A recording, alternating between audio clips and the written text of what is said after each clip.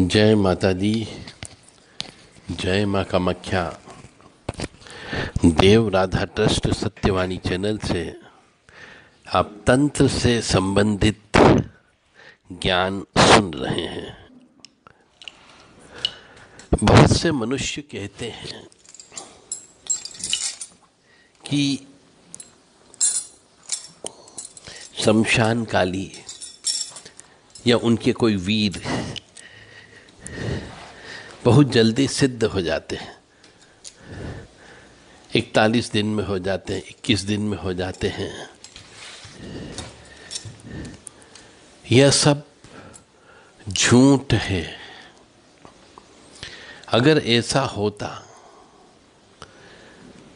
तो अधिकांशतः मनुष्य बड़े बड़े तांत्रिक बन जाते हैं। बहुत से लोग चौबीस घंटे में शमशान की शक्ति सिद्ध करने की बात करते हैं। यह भी गलत है। कई साल लग जाते हैं। मनुष्य को साधना करना होती है। उस शक्ति के अनुरूप अपनी इस आत्मा को बनाना पड़ता है। तब जाके कोई शक्ति आपके साथ चिपकती है। तो जितने भी आजकल हम जो देख रहे हैं यूट्यूब पर देखते हैं व्हाट्सएप पे देखते हैं फेसबुक पे देखते हैं कि शमशान काली की साधना है, कोई वीर की साधना है, कोई भैरव जी की साधना है। इसके लिए कई जन्मों की साधना जुड़ने के बाद में सिद्ध होती है।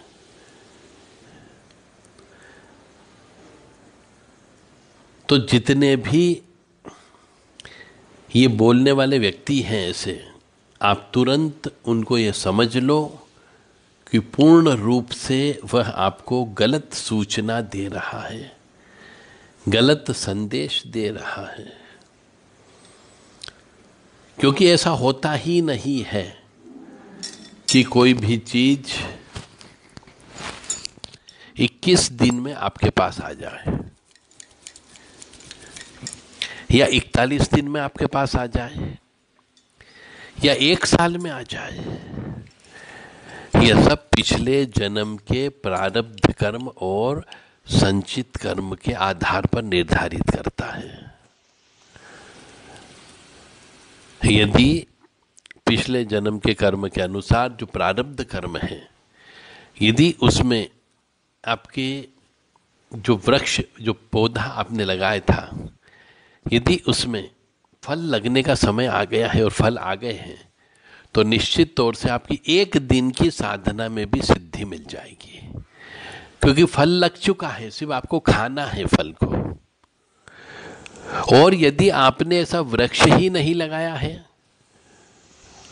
ऐसा बीज ही नहीं बोया है, और अब इस जन्म में साधना का बीज बोगे आप, यानी किसी की कोई जप करोगे तो उसका फल लगने में समय लगता है, क्योंकि कोई भी बीज हम बोते हैं तो उस बीज को पहले बोया जाता है, फिर इंतज़ार किया जाता है, फिर उससे पौधा बनता है। पौधे की देख रेख करना होती है, और देख रेख करने के बाद उसको बड़ा करना पड़ता है। बड़ा करने के बाद सीज़न आने पर उसमें कुछ दवाई, दारू भी करना पड़ती है, ताकि उस पर कीड़े नहीं लगे, और फिर उसमें फूल आते हैं, उसके बाद फल आते हैं।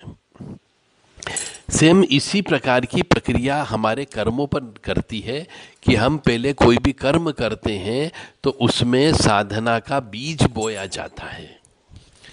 फिर बीज बोने के बाद में उसको जल से सिंचित करना पड़ता है, यानी साधना जो मंत्र लिया है, उस मंत्र के जप करना पड़ते हैं।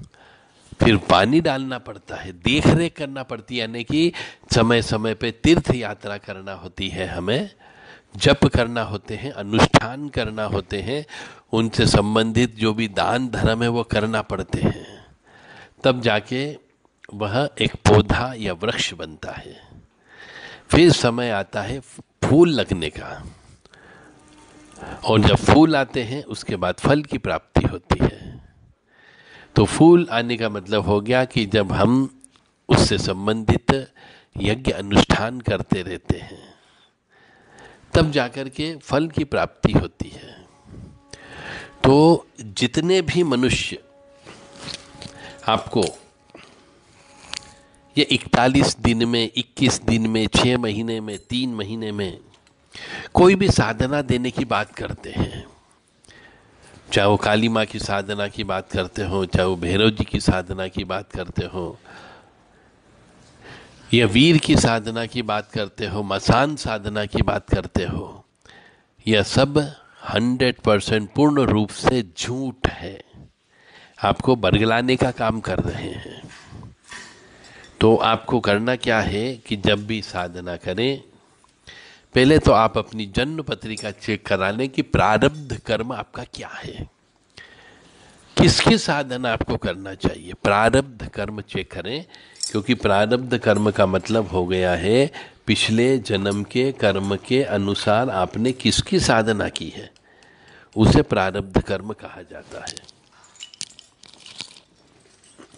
तो प्रारब्ध कर्म के अनुसार ही साधना करें तो आपके जीवन में कुछ हद तक सुख प्राप्त हो सकता है, आपको अनुभव हो सकता है साधना का।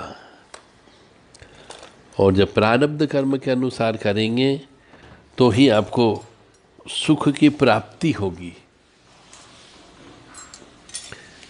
तो प्रारब्ध कर्म चेक कराने के लिए पत्रिका आपको चेक कराना होगी।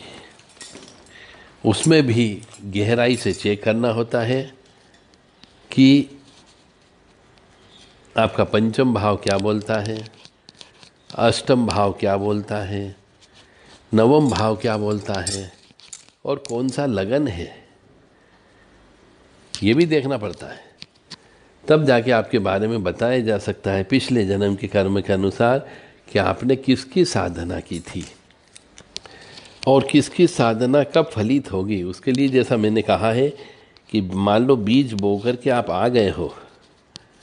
तो उसको सिंचित भी करना पड़ता है देख रेख भी करना पड़ती है, खाद भी डालना होता है, जल का संचाव भी करना होता है, उसके बाद फल लगना प्रारंभ होते हैं, तब भी देख रेख करना होती है।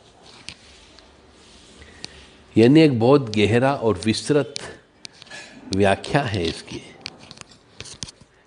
इसलिए आप कैसे, ऐसे किसी भी व्यक्ति के बहकावे में नहीं आए कोई पैसे बर्बाद नहीं करें कि कोई एक महीने, दो महीने में या छः महीने में आपको कोई भी साधना देकर के सिद्धि करा देगा। यह पूर्ण रूप से गलत है।